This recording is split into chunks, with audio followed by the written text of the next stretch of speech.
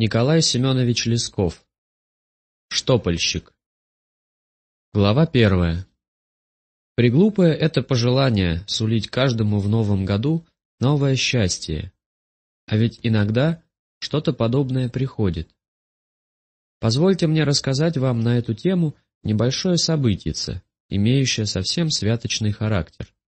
В одну из очень давних моих побывок в Москве я задержался там долее, чем думал, и мне надоело жить в гостинице. Псаломщик одной из придворных церквей услышал, как я жаловался на претерпеваемые неудобства приятелю моему, той церкви священнику, и говорит, «Вот бы им, батюшка, куму моему, у него нынче комната свободная на улицу». «Какому куму?» — спрашивает священник. «Василию Конычу». «Ах, это мэтр Тольер Лепутан». «Так точно-с. Что же, это действительно очень хорошо. И священник мне пояснил, что он и людей этих знает, и комната отличная, а псаломщик добавил еще про одну выгоду. Если говорить, что прорвется или низки в брюках обобьются, все опять у вас будет исправно, так что глазом не заметить. Я всякие дальнейшие осведомления почел излишними, и даже комнаты не пошел смотреть, отдал псаломщику ключ от моего номера с доверительной надписью на карточке и поручил ему рассчитаться в гостинице, взять оттуда мои вещи и перевести все к его куму. Потом я просил его зайти за мною сюда и проводить меня на мое новое жилище. Глава вторая. Псаломщик очень скоро обделал мое поручение и с небольшим через час зашел за мною к священнику. «Пойдемте, — говорит, — все уже ваше там разложили и расставили, и окошечки вам открыли, и дверку в сад на балкончик отворили, и даже сами с кумом там же на балкончике чайку выпили. Хорошо там, — рассказывает, — цветки вокруг, в кружовнике пташки гнездятся, и в клетке под окном соловей свищет. Лучше, как на даче. Потому зелено, а меж тем все домашнее в порядке, и если какая пуговица ослабела или низки обились, Сейчас исправят. Псаломщик был парень аккуратный и большой франт, а потому он очень напирал на эту сторону выгодности моей новой квартиры. Да и священник его поддерживал. «Да, — говорит, — Тольер Лепутан такой артист по этой части, что другого ни в Москве, ни в Петербурге не найдете. Специалист, — серьезно подсказал, подавая мне пальто псаломщик. Кто это Лепутан, я не разобрал, да притом это до меня и не касалось. Глава третья. Мы пошли пешком. Псаломщик уверял, что извозчика брать не стоит, потому что это будто бы два шага променажи. На самом деле это, однако, оказалось около получасу ходьбы, но псаломщику хотелось сделать променажу, может быть, не без умысла, чтобы показать бывшую у него в руках тросточку с лиловой шелковой кистью. Местность, где находился дом Лепутана, была за Москвой рекою к Яузе, где-то на бережку. Теперь я уже не припомню, в каком это приходе и как переулок называется. Впрочем, это, собственно, не был и переулок, а скорее какой-то непроезжий закоулочек, вроде старинного погоста. Стояла церковка, а вокруг нее угольничком объезд. И вот в этом-то объезде шесть или семь домиков, все очень небольшие, серенькие, деревянные, один на каменном полуэтаже. Этот был всех показнее и всех больше, и на нем во весь фронтон была прибита большая железная вывеска, на которой по черному полю золотыми буквами крупно и четко выведено «Мэтр Тольер Лепутан». Очевидно, здесь и было мое жилье, но мне странно показалось, зачем же мой хозяин по имени Василий Коныч называется мэтр Тольер Лепутан. Когда его называл таким образом священник, я думал, что это не более как шутка, и не придал этому никакого значения. Но теперь, видя вывеску, я должен был переменить свое заключение. Очевидно, что дело шло всерьез, и потому я спросил моего провожатого. «Василий Коныч, русский или француз?» Псаломщик даже удивился и как будто не сразу понял вопрос, а потом отвечал. «Что вы это? Как можно француз? Чистый русский. Он и платье делает на рынок только самое русское, поддевки и тому подобное, но больше он по всей Москве знаменит починкую, Страсть, сколько старого платья через его руки на рынке за новое идет. Но все-таки, любопытствую я, он верно от французов происходит? Псаломщик опять удивился. Нет, говорит. Зачем же от французов? Он самой правильной здешней породы, русской, и детей у меня воспринимает, а ведь мы, духовного звания, все числимся православные. Да и почему вы так воображаете, что он приближен к французской нации? У него на вывеске написана французская фамилия. «Ах, это», — говорит, — «совершенные пустяки, одна лаферма». Да и то на главной вывеске по-французски, а вот у самых ворот, видите, есть другая, русская вывеска. Это вернее. Смотрю, и точно. У ворот есть другая вывеска, на которой нарисованы армяк и поддевка и два черные жилета с серебряными пуговицами, сияющими, как звезды во мраке. А внизу подпись «Делают кустумы русского и духовного платья со специальностью ворса, выверта и починки». Под эту вторую вывеску фамилия производителя кустумов, выверта и починки не обозначена, а стояли только два инициала – В.Л. Глава четвертая. Помещение и хозяин оказались в действительности выше всех сделанных им похвал и описаний, так что я сразу же почувствовал себя здесь как дома и скоро полюбил моего доброго хозяина Василия Коныча. Скоро мы с ним стали сходиться пить чай, начали благобеседовать о разнообразных предметах. Таким образом, раз, сидя за чаем на балкончике, мы завели речи на царственные темы Кагилета о суете всего, что есть под солнцем, и о нашей неустанной склонности работать всякой суете. Тут и договорились до Лепутана. Не помню, как именно это случилось, но только дошло до того, что Василий Коныч пожелал рассказать мне странную историю, как и по какой причине он явился под французским заглавием. Это имеет маленькое отношение к общественным нравам и к литературе, хотя писано на вывеске. Коныч начал просто, но очень интересно. «Моя фамилия, сударь», — сказал он, — «вовсе не Лепутан, а иначе. От французское заглавие меня поместила сама судьба». Глава пятая. Я природный, коренной москвич, из беднейшего звания. Дедушка наш у Рогожской заставы стелечки для древлестепенных староверов продавал. Отлично был старичок, как святой весь седенький, будто подлинялый зайчик, а все до самой смерти своими трудами питался. Купит бывало войлочек, нарежет его на кусочки по подошивке, смечет парочками на нитку и ходит по христианам. А сам поет ласково. «Стелечки, стелечки, кому надо стелечки?» Так бывало по всей Москве ходит, и на один грош у него всего товару, а кормится. Отец мой портной по древнему фасону. Для самых законных староверов рабские кафташки шил с тремя сборочками. И меня к своему мастерству выучил. Но у меня с детства особенное дарование было — штопать.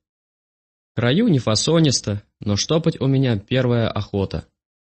Так я к этому приспособился, что бывало где угодно на самом видном месте подштопаю и очень трудно заметить. Старики отцу говорили, это мальцу от Бога талант дан, а где талант, там и счастье будет. Так и вышло. Но до всякого счастья надо, знаете, покорное терпение. И мне тоже даны были два немалые испытания. Во-первых, родители мои померли, оставив меня в очень молодых годах, а во-вторых, квартирка, где я жил, сгорела ночью на самое Рождество, когда я был в Божьем храме у заутренни. И там погорело все мое заведение и утюг, и колодка, и чужие вещи, которые были взяты для штопки. Очутился я тогда в большом злострадании, но отсюда же и начался первый шаг к моему счастью. Глава шестая. Один давалец, у которого при моем разорении сгорела у меня крытая шуба, пришел и говорит, «Потеря моя большая, и к самому празднику неприятно остаться без шубы. Но я вижу, что взять с тебя нечего, а надо еще тебе помочь. Если ты путный парень, так я тебя на хороший путь выведу. С тем, однако, что ты мне со временем долг отдашь. Я отвечаю. Если бы только Бог позволил, то с большим моим удовольствием, отдать долг почитаю за первую обязанность. Он велел мне одеться и привел в гостиницу напротив главнокомандующего дома под буфетчику. И сказывает ему при мне. «Вот, — говорит, — тот самый подмастерье, который я вам говорил, что для нашей коммерции может быть очень способный. Коммерция их была такая, чтобы разутюживать приезжающим всякое платье, которое приедет в чемоданах замявшись, и всякую починку делать, где какая потребуется. Подбуфетчик дал мне на пробу одну штуку сделать, увидал, что исполняю хорошо, и приказал оставаться. Теперь, говорит, Христов праздник, и господ много наехало, и все пьют гуляют, а впереди еще Новый год и крещение, безобразие будет еще больше. Оставайся. Я отвечаю, согласен. А тот, что меня привел, говорит, ну смотри, действуй, здесь нажить можно. А только его, то есть подбуфетчика, Слушай, как пастыря. Бог пристанет и пастыря приставит. Отвели мне в заднем коридоре маленький уголочек при окошечке, и пошел я действовать. Очень много, пожалуй, и не счесть, сколько я господ перечинил, и грех жаловаться, сам хорошо починился, потому что работы было ужасно как много, и плату давали хорошую. Люди простой масти там не останавливались, а приезжали одни козыри, которые любили, чтобы постоять с главнокомандующим на одном местоположении из окон в окна. Особенно хорошо платили за штуковки да за штопку при тех случаях, если повреждение вдруг неожиданно окажется в таком платье, которое сейчас надеть надо. Иной раз бывало даже совестно. Дырка вся в гривенник, а зачинить ее незаметно дают золотой. Меньше червонца дырочку подштопать никогда не плачивали. Но, разумеется, требовалось уже и искусство настоящее, чтобы как воды капля с другой слита, и нельзя их различить, так чтобы и штука была вштукована. Из денег мне из каждой платы давали третью часть, а первую брал под буфетчик, другую — услужающие, которые в номерах господам чемоданы с приезда разбирают и платья чистят. В них все главное дело, потому что они вещи и помнут, и потрут, и дырочку клюнут, и потому им две доли а остальное мне. Но только и этого было на мою долю так достаточно, что я из коридорного угла ушел и себе на том же дворе поспокойнее комнатку занял, а через год под буфетчикова сестра из деревни приехала. Я на ней и женился. Теперешняя моя супруга, как ее видите, она и есть. Дожила до старости с почтением, и, может быть, на ее долю все Бог и дал. А женился просто таким способом, что подбуфетчик сказал, она сирота, и ты должен ее осчастливить, а потом через нее тебе большое счастье будет. И она тоже говорила, я, говорит, счастливая, тебе за меня Бог даст. И вдруг, словно через это, в самом деле случилась удивительная неожиданность. Глава седьмая. Пришло опять Рождество и опять канун на Новый год. Сижу я вечером у себя, что-то штопаю, и уже думаю работу кончить да спать ложиться, как прибегает лакей из номеров и говорит. «Беги скорей, в первом номере страшный козырь, остановившись. Почитай, всех перебил, и кого ударит, червонцем дарит. Сейчас он тебя к себе требует». «Что ему от меня нужно?» – спрашиваю. «На бал», – говорит. Он стал одеваться и в самую последнюю минуту во фраке на видном месте прожженную дырку осмотрел. Человека, который чистил, избил и три червонца дал. Беги как можно скорее, такой сердитый, что на всех зверей сразу похож. Я только головой покачал, потому что знал, как они проезжающих вещи нарочно портят, чтобы профит с работы иметь. Но, однако, оделся и пошел смотреть козыря, который один сразу на всех зверей похож. Плата непременно предвиделась большая, потому что первый номер во всякой гостинице считается козырной и нероскошный человек там не останавливается. А в нашей гостинице цена за первый номер полагалась в сутки по нынешнему 15 рублей, а по тогдашнему счету на ассигнации 52 с полтинную, и кто тут стоял, звали его Козырем. Этот, к которому меня теперь привели, на вид был ужасно какой страшный, ростом огромнейший и с лица смугл и дик, и действительно на всех зверей похож. «Ты», — спрашивает он меня злобным голосом, Можешь так хорошо дырку заштопать, чтобы заметить нельзя? Отвечаю. Зависит от того, в какой вещи. Если вещь ворсистая, так можно очень хорошо сделать, а если блестящий атлас или шелковая маве материя, с теми не берусь. «Сам, — говорит ты, Маве, — а мне какой-то подлец вчера, вероятно, сзади меня сидевший, цигарку и фраг прожег. Вот осмотри его и скажи». Я осмотрел и говорю. «Это хорошо можно сделать». «А в сколько времени?» «Да через час», — отвечаю, — «будет готово». «Делай», — говорит, — «и если хорошо сделаешь, получишь денег по лужку, а если нехорошо, то головой об кадушку. Пойди расспроси, как я здешних молодцов избил, я знаю, что тебя я в сто раз больше изобью. Глава восьмая. Пошел я чинить, а сам не очень и рад, потому что не всегда можно быть уверенным, как сделаешь. По проховее сукнецо лучше слипнет, а которое жестче, трудно его подворсить так, чтобы не было заметно. Сделал я, однако, хорошо, но сам не понес, потому что обращение его мне очень не нравилось. Работа этакая капризная, что как хорошо не сделай, а все, кто охоч придраться, легко можно неприятность получить. Послал я фраг с женою к ее брату и наказал, чтобы отдала, а сама скорее домой ворочалась.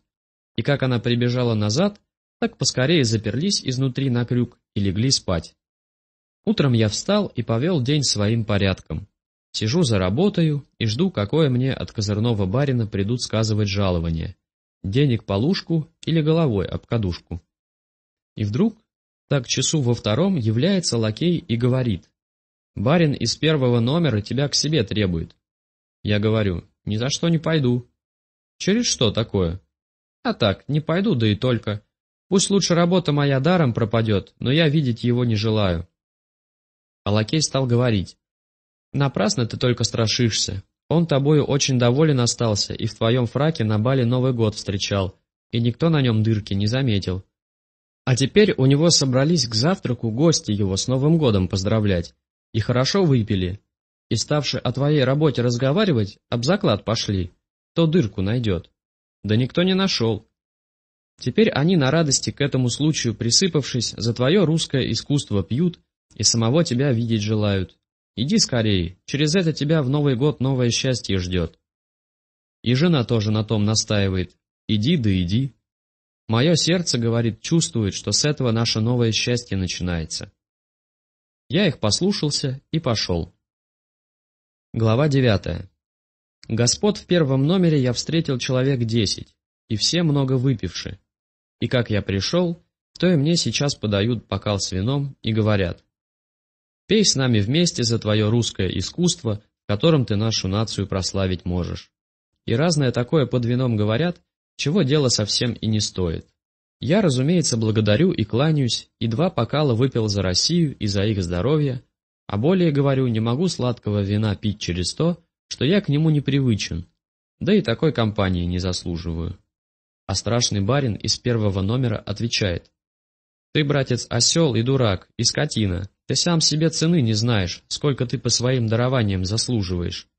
Ты мне помог под Новый год весь предлог жизни исправить, Через то, что я вчера на балу любимой невесте важного рода в любви открылся и согласие получил. В этот мясоед и свадьба моя будет. Желаю, говорю вам и будущей супруге вашей принять закон в полном счастье. А ты за это выпей. Я не мог отказаться и выпил, но дальше прошу отпустить. Хорошо, говорит.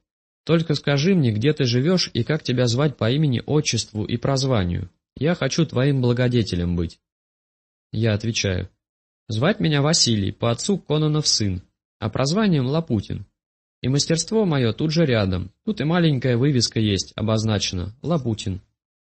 Рассказываю это и не замечаю, что все гости при моих словах чего-то порскнули и со смеху покатились. А барин, которому я фраг чинил, ни с того ни с сего хлясь меня в ухо, а потом хлясь в другое, так что я на ногах не устоял. А он подтолкнул меня выступком к двери да за порог и выбросил. Ничего я понять не мог, и дай бог скорее ноги. Прихожу, а жена спрашивает. «Говори скорее, Васенька, как мое счастье тебе послужило?» Я говорю. «Ты меня, Машенька, во всех частях подробно не расспрашивай, но только если по этому началу в таком же роде дальше пойдет, то лучше бы для твоего счастья не жить. Избил меня, ангел мой, этот барин, Жена встревожилась. Что, как и за какую провинность? А я, разумеется, и сказать не могу, потому что сам ничего не знаю. Но пока мы этот разговор ведем, вдруг у нас в сенечках что-то застучало, зашумело, загремело, и входит мой из первого номера благодетель. Мы оба встали с мест и на него смотрим, а он, раскрасневшись от внутренних чувств или еще вина подбавивший, и держит в руке дворницкий топор на долгом топорище, а в другой поколотую в щепы дощечку, на которой была моя плохая вывесочка с обозначением моего бедного рукомесла и фамилии. Старье чинит и выворачивает Лапутин. Глава десятая. Вошел барин с этими поколотыми досточками и прямо кинул их в печку, а мне говорит. «Одевайся, сейчас вместе со мною в коляске поедем, я счастье жизни твоей устрою, иначе и тебя, и жену, и все, что у вас есть, как эти доски поколю». Я думаю, чем с таким дебоширом спорить, лучше его скорее из дома увести, чтобы жене какой обиды не сделал. Торопливо оделся, говорю жене, перекрести меня, Машенька, и поехали. Прикатили в Бронную, где жил известный покупной сводчик Прохор Иванович, и барин сейчас спросил у него, какие есть в продажу дома и в какой местности, на цену от 25 до 30 тысяч, или немножко более. Разумеется, по тогдашнему на ассигнации. Только мне такой дом требуется, объясняет, чтобы его сию минуту взять и перейти туда можно. Сводчик вынул из комода тетрадь, сделал очки, посмотрел в один лист, в другой и говорит. Есть дом на все виды вам подходящий, но только прибавить немножко придется. Могу прибавить. Так надо дать до 35 тысяч. Я согласен. Тогда, говорит, все дело в час кончим, и завтра въехать в него можно, потому что в этом доме дьякон на крестинах куриной костью подавился и помер, и через то там теперь никто не живет. Вот это и есть тот самый домик, где мы с вами теперь сидим. Говорили, будто здесь покойный дьякон ночами ходит и давится, но только все это совершенные пустяки, и никто его тут при нас ни разу не видывал. Мы с женой на другой же день сюда переехали, потому что барин нам этот дом подарственный перевел, а на третий день он приходит с рабочими, которых больше как шесть или семь человек, и с ними лестница, и вот эта самая вывеска, что я будто французский портной. Пришли и приколотили, и назад ушли, а барин мне наказал. Одно говорит тебе мое приказание. Вывеску эту никогда не сметь переменять, и на это название отзываться. И вдруг вскрикнул «Лепутан!» Я откликаюсь «Чего изволите?» «Молодец», — говорит, вот тебе еще тысячу рублей на ложки и плошки, но смотри, Лепутан, заповеди мои соблюди, и тогда сам соблюден будешь. И. А ежели что? Да, спаси тебя, Господи, станешь в своем прежнем имени утверждаться, и я узнаю, то, во-первых, предисловие я всего тебя изобью, а во-вторых, по закону дар дарителю возвращается. А если в моем желании прибудешь, то объясни, что тебе еще надо, и все от меня получишь. Я его благодарю, и говорю, что никаких желаний не имею и не придумаю, окромя одного. Если его милость будет, сказать мне, что все это значит и за что я дом получил. Но этого он не сказал. Это, говорит, тебе совсем не надо, но только помни, что с этих пор ты называешься Лепутан, и так в моей дарственной именован. Храни это имя, тебе это будет выгодно. Глава одиннадцатая Остались мы в своем доме хозяйствовать, и пошло у нас все очень благополучно. И считали мы так, что все это Жениным счастьем, потому что настоящего объяснения долгое время ни от кого получить не могли. Но один раз пробежали тут мимо нас два господина, и вдруг остановились и входят. Жена спрашивает, что прикажете? Они отвечают, нам нужно самого мусье Лепутана. Я выхожу, а они переглянулись, оба в раз засмеялись и заговорили со мною по-французски. Я извиняюсь, что по-французски не понимаю. А давно ли, спрашивают, вы стали под этой вывеской? Я им сказал, сколько лет. Ну, так и есть. Мы вас, говорят, помним и видели. Вы одному господину под Новый год удивительно фраг к балу заштопали, и потом от него при нас неприятность в гостинице перенесли. Совершенно верно, говорю. Был такой случай. Но только я этому господину благодарен и через него жить пошел. Но не знаю ни его имени, ни прозвания, потому что все это от меня скрыто. Они мне сказали его имя, а фамилия его прибавили Лапутин. Как Лапутин? Да, разумеется, говорят, Лапутин. А вы разве не знали, через что он вам все это благодетельство оказал? Через то, чтобы его фамилии на вывеске не было. Представьте, говорю, а мы сю пору ничего этого понять не могли. Благодеянием пользовались, а словно как в потемках. Но, однако, продолжают мои гости, ему от этого ничего не помоглося. Вчера с ним новая история вышла. И рассказали мне такую новость, что стало мне моего прежнего однофамильца очень жалко. Глава 12. Жена Лапутина, которой они сделали предложение в заштопанном фраке, была еще щекотистее мужа и обожала важность. Сами они оба были не бог весть какой породы, а только отцы их под купам разбогатели, но искали знакомства с одними знатными. А в ту пору у нас в Москве был главнокомандующим граф Закревский, который сам тоже, говорят, был из поляцких шляхтецов, и его настоящие господа, как князь Сергей Михайлович Голицын, невысоко числили. Но прочие обольщались быть в его доме приняты. Моего прежнего однофамильца супруга тоже этой чести жаждали. Однако, бог их знает почему, им это долго не выходило. Но, наконец, нашел господин Лапутин сделать графу какую-то приятность, и тот ему сказал, «Заезжай, братец, ко мне, я велю тебя принять. Скажи мне, чтобы я не забыл, как твоя фамилия?» Тот отвечал, что его фамилия Лапутин. «Лапутин?» — заговорил граф. «Лапутин. Постой, постой, сделай милость, Лапутин. Я что-то помню. Лапутин — это чья-то фамилия». «Точно так говорит ваше сиятельство. Это моя фамилия». «Да, да, братец, действительно, это твоя фамилия. Только я что-то помню, как будто был еще кто-то Лапутин. Может быть, это твой отец был Лапутин?» Барин отвечает, что его отец был Лапутин. «То-то я помню, помню. Лапутин. Очень может быть, что это твой отец. У меня очень хорошая память. Приезжай, Лапутин. Завтра же приезжай. Я тебя велю принять, Лапутин». Тот от радости себя не помнит и на другой день едет. Глава тринадцатая. Но граф Закревский память свою хотя и хвалил, однако на этот раз оплошал и ничего не сказал, чтобы принять господина Лапутина. Тот разлетелся. Такой-то, говорит, и желаю видеть графа. А швейцар его не пущает. Никого, говорит, не велено принимать. Барин так-сяк его убеждать, что я, говорит, не сам, а по графскому зову приехал. Швейцар ко всему пребывает нечувствителен. Мне, говорит, никого не велено принимать, а если вы по делу, то идите в канцелярию.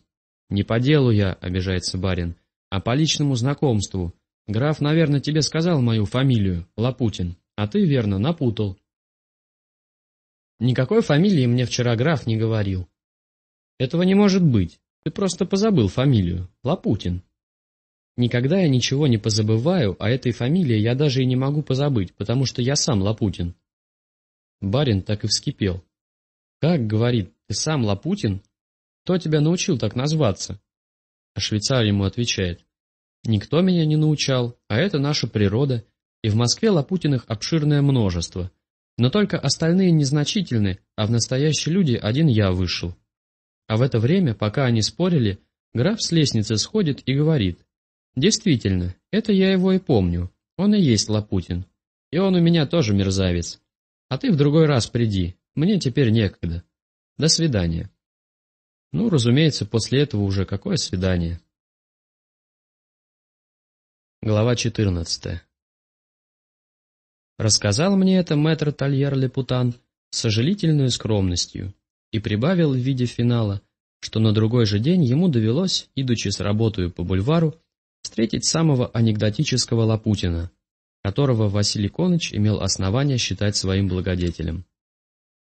Сидит, говорит, на лавочке очень грустный. Я хотел проюркнуть мимо, но он лишь заметил и говорит. «Здравствуй, монсир Лепутан. Как живешь, можешь?» «По Божьей и по вашей милости очень хорошо. Вы, как батюшка, изволите себя чувствовать?» «Как нельзя хуже. Со мною прескверная история случилась». «Слышал, говорю, сударь, и порадовался, что вы его, по крайней мере, не тронули». Тронуть его, отвечает, невозможно, потому что он не свободного трудолюбия, а при графе в мерзавцах служит. Но я хочу знать, кто его подкупил, чтобы мне эту подлость сделать. А Коныч по своей простоте стал барина утешать. «Не ищите, — говорит сударь, — подучения. Лопутиных точно много есть, и есть между них люди очень честные, как, например, мой покойный дедушка. Он по всей Москве стелечки продавал. А он меня вдруг с этого слова в раз через всю спину палкою. Я и убежал, и с тех пор его не видал, а только слышал, что они с супругой за границу во Францию уехали, и он там разорился и умер, а она над ним памятник поставила. Да говорят по случаю с такой надписью, как у меня на вывеске «Лепутан». Так и вышли мы опять однофамильцы. Глава пятнадцатая. Василий Коныч закончил, а я его спросил, почему он теперь не хочет переменить вывески и выставить опять свою законную русскую фамилию. «Да зачем, — говорит сударь, — ворошить то, с чего новое счастье стало? Через это можно вред всей окрестности сделать». «Окрестности-то какой же вред?» «А как же-с? Моя французская вывеска, хотя, положим, все знают, что одна лаферма, однако через нее наша местность другой эффект получила. И дома у всех соседей совсем другой против прежнего профит имеют. Так Коныч и остался французом для пользы обывателей своего замоскворецкого закоулка, а его знатный однофамилец без всякой пользы сгнил под псевдонимом Упер Лашеза.